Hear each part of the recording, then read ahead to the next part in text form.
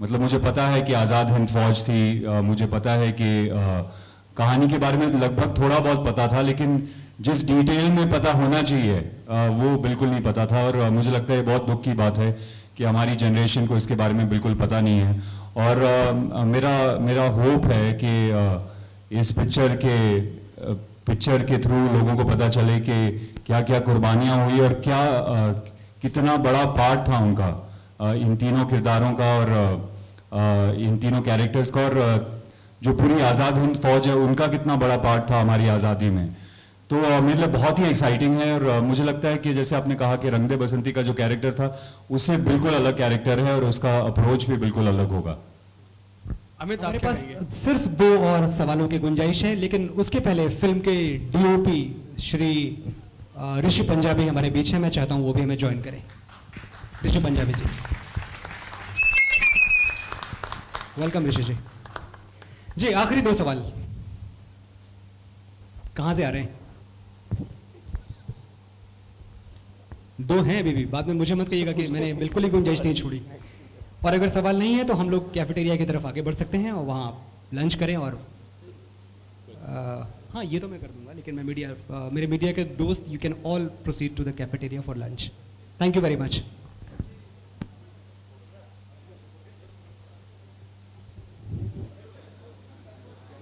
कुछ बैठ के कुछ खड़े। आई थिंक कुछ बैठ के कुछ खड़े।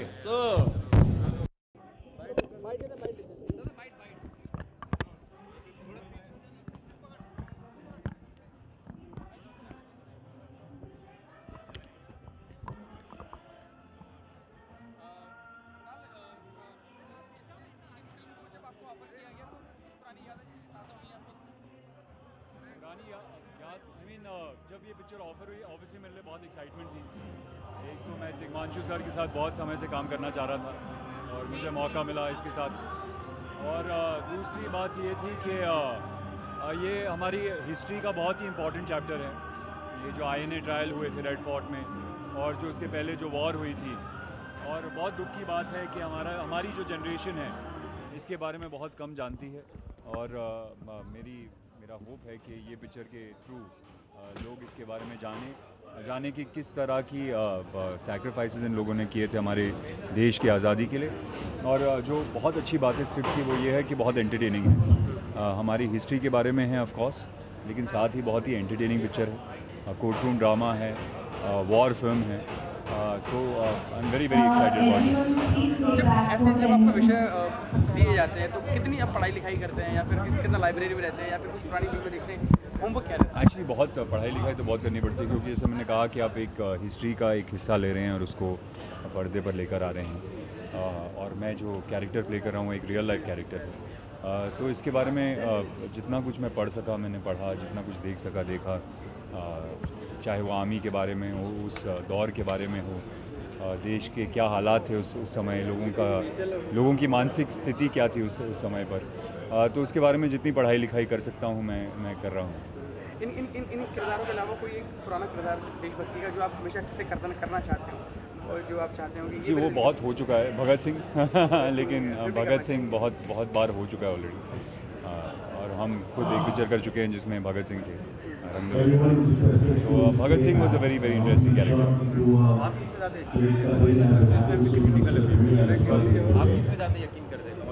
जी वो मेरा ये मानना है कि पिक्चर अच्छी होती है बुरी होती है। ये क्रिटिकल कमर्शियल वो सब मुझे ज़्यादा समझ नहीं है। अगर मुझे स्क्रिप्ट अच्छी लगती है तो मैं करता हूँ। और मेरी उम्मीद रहती है कि ना सिर्फ़ लोगों को ये पिक्चर अच्छी लगे लेकिन बॉक्स ऑफ़िस पे भी चले। I think they both very very important things क्योंकि क्योंकि इंडस्ट्री इतनी रिस्पेक्टेड है यहाँ पे सभी लोग एक दूसरे एक दूसरे का इतना सम्मान करते हैं सहयोग करते हैं। जी। तो अभी सलमान खान ने कहा है कि जब वो थके आ रहे बाहर निकलते हैं सुल्तान की शूटिंग के दौरान तो ऐसा लगता है उनका रेप कर दिया गया। तो मुझे मुझे लगता है यार ये अब कंट्रोवर्सी को बहुत खींच चुके हैं और बहुत समय से चल रहा है ये। अब मुझे लगता है कि अब ये सवाल बंद कर देना चाहिए आपको।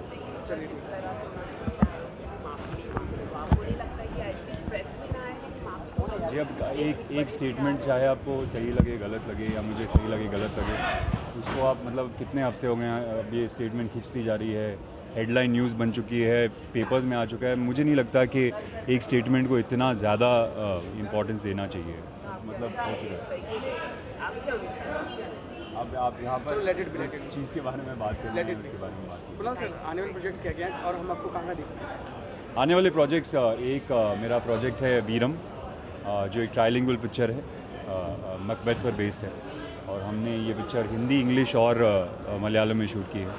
और मेरे लिए सबसे चैलेंजिंग पिक्चर थी क्योंकि फिज़िकली और इमोशनली मेरे लिए बहुत चैलेंजिंग थी। अ, मैंने इस तरह का एक तो पहले एक मकबैत कर रहे हैं अब शेक्सपियर और वो भी तीन लैंग्वेजेस में। अ, तो बहुत ही चैलेंजिंग पिक्चर थी और दूसरी पिक्चर जो है वो गौरी शिंडे के साथ है।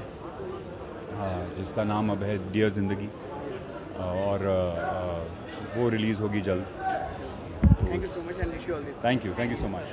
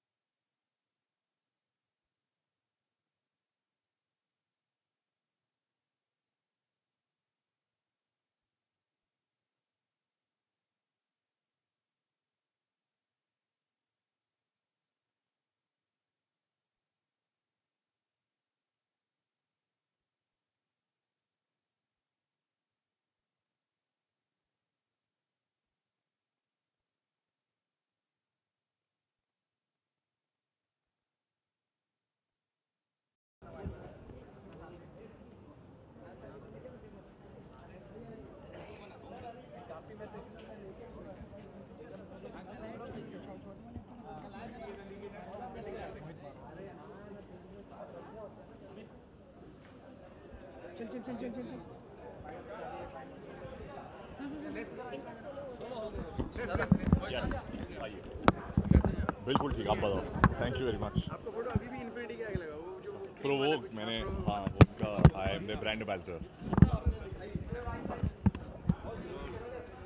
कौन से सबसे पहले जानना चाहेंगे जब आपको इतना ऐतिहासिक रोल दिया गया आपने मुझे रखी हुई है और हम जानते हैं कैरेक्टर में आ चुके हैं तो क्या रिसर्चेज रही और किन किन चीज़ों के पीछे पड़े कितनी पढ़ाई लिखाई करी? काफ़ी एक्चुअली स्कूल में तो मैंने ज़्यादा हिस्ट्री का शौक रखा नहीं था पर अब मुझे हिस्ट्री पढ़नी पड़ी। And we've done we've done हमने काफ़ी रिसर्च की है जितना अवेलेबल मटेरियल है हमने uh, उसको पढ़ा है जितनी डॉक्यूमेंट्रीज इस टॉपिक पर बनी है uh, आईने के ऊपर और Indian National Army Azad Hind Fauj और uh, जो मेरा कैरेक्टर है प्रेम सैगल Uh, जो उनके बारे में जितनी इन्फॉर्मेशन अवेलेबल है, वो हमने अच्छे से पढ़ी, उनके डॉक्यूमेंट्रीज देखी एंड यू नो कुछ चीज़ें जो हैं हमें क्रिएट करनी पड़ती हैं जो अवेलेबल नहीं हैं और कुछ चीज़ें जो अवेलेबल हैं उनको हम यूज़ करेंगे। तो उनका कॉम्बिनेशन बना के you know we will present this to the world and you know I hope के हमारे पास सबकी ब्लेसिंग्स रहे और प्रेम सैगल की ब्लेसिंग रहे that you know I I play him how he was and I am very excited it's it's you know it's a it's a period film. It's set in uh, you know 1930s 1940s तो you know आखिर में आप actor बने थे अलग अलग character निभाने के लिए और यहाँ आपको अपॉर्चुनिटी मिल रही है कि आप मोहित मारवा को कोने में छोड़कर आप एक नई दुनिया में जा रहे हैं। तो तो this is why I became an actor इसी के लिए एक्टर बना तो वेरी एक्साइटेड जैसा कि हम अपने वास्तविक जीवन में थे आप कितना मैच मैचअप कर पाए उनसे या फिर आप रियल लाइफ में कैसे हैं आप? उन्हीं की तरह एक्चुअली एक्चुअली चीज़ें हमको ढूंढनी पड़ी काफ़ी जैसे uh, कुछ चीज़ें ऐसी हैं जो मुझमें और उनमें सिमिलर हैं जो द रीज़न आई थिंक जिसकी वजह से मुझे कास्ट भी किया गया इस रोल में इज़ कि पहली बात तो उनको लगता है कि मैं देखने में उनकी तरह हम काफ़ी मिलते जुलते हैं एंड वो एक बहुत बड़ी चीज़ थी। फिर एक आपके यू नो बात करने का ढंग, आपके तौर तरीके यू नो वो एक बहुत एडुकेटेड फैमिली से, एक अपर मिडिल क्लास फैमिली से आते थे। यू नो बाय लक मैं भी उसी टाइप की फैमिली से आता हूँ और यू नो उनने अपनी पढ़ाई पे काफ़ी ध्यान दिया है और यू नो उनको एक काफ़ी अच्छा चाइल्डहुड मिला। और I have also been lucky that way कि मेरे को भी एक अच्छा चाइल्डहुड मिला है। मेरे को यू नो तो मैं एक्चुअली कर ये रहा हूँ कि जितने पॉइंट्स उनमें और मुझमें सिमिलर हैं उनको uh, सबसे पहले मैंने नोट डाउन कर लिया कि ये मेरा स्टार्टिंग का मुझे बेस मिल गया और उसके बाद फिर आप उसके ऊपर कैरेक्टर क्रिएट कर रहे हैं। तो it's it's been very interesting और मैं तो वेट कर रहा हूँ लंच हो और उसके बाद शूटिंग शुरू हो और यू नो कैरेक्टर में हम आ गए और जाके uh, प्रेम सहगल के कैरेक्टर को uh, बस बखूबी निभाएँ और लोगों को पसंद आए। कितने डर कितना एक्साइटेड डर कितना कि ज़्यादा अच्छा एक्चुअली हमारे डायरेक्टर ने हमको काफ़ी कॉन्फिडेंस दे दिया है तो डर अब बिल्कुल नहीं है। आई uh, थिंक हमने काफ़ी इन्फॉर्मेशन कलेक्ट कर ली है हमको काफ़ी डेटा हमारे पास आ गया है तो आई uh, थिंक अब उसको बस यूज़ करने की बात है। अब it's yeah we feeling very confident with you know and a director like Tigmanshu Dhulia जो you know he is a master story teller और I feel I am lucky कि मैं यू नो अपनी दूसरी पिक्चर उनके साथ कर रहा हूँ इतने इतने मेरे करियर के अर्ली स्टेज पे मुझे इतने बड़े डायरेक्टर के साथ काम करने का मौका मिला and you know he is known के वो एक्टर्स से अच्छी परफॉर्मेंस निकालते हैं वो अच्छी सेंसिबल पिक्चरें बनाते हैं और यू uh, नो और उनकी उनकी पिक्चरें पैसे भी बनाती है। तो it's it's it's it's a good combination to have and I I feel I am lucky अभी फ़िलहाल पूरी कंसंट्रेशन पूरी एनर्जी राग Desh birth of a nation पे है एंड uh, ये ऐसा कैरेक्टर है कि uh, मैंने अपनी लाइफ की जितनी बाकी चीज़ें उन सबको हटा दिया है अभी only one focus straight focus and is this film so just excited for Raag Desh birth of a nation thank you thank you very much thank you so much